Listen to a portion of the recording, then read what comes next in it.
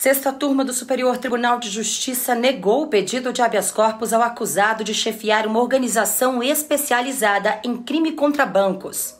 Os ministros da sexta turma do STJ negaram o pedido de habeas corpus apresentado por um homem preso preventivamente sob suspeita de comandar uma quadrilha em Mato Grosso do Sul especializada em crimes contra instituições financeiras. No pedido, a defesa alegou que o preso faz parte do grupo de risco da Covid-19 por ser soro positivo para o HIV.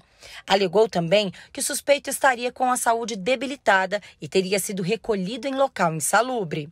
Em uma das ações apuradas no processo, o grupo teria cavado um túnel durante seis meses para invadir uma unidade de guarda de valores do Banco do Brasil.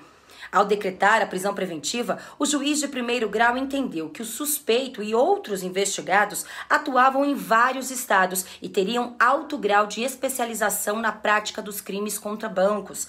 O preso foi denunciado por formação de organização criminosa, furto qualificado, receptação, falsidade ideológica e uso de documento falso. No STJ, o relator do caso, ministro Nefe Cordeiro, lembrou que o Tribunal de Justiça de Mato Grosso do Sul levou em conta que a prisão foi justificada pela necessidade de garantia da ordem pública, pela periculosidade do suspeito e pela concreta possibilidade de reiteração delitiva.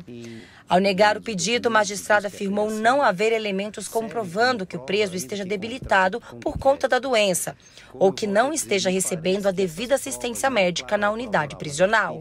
Tuesday.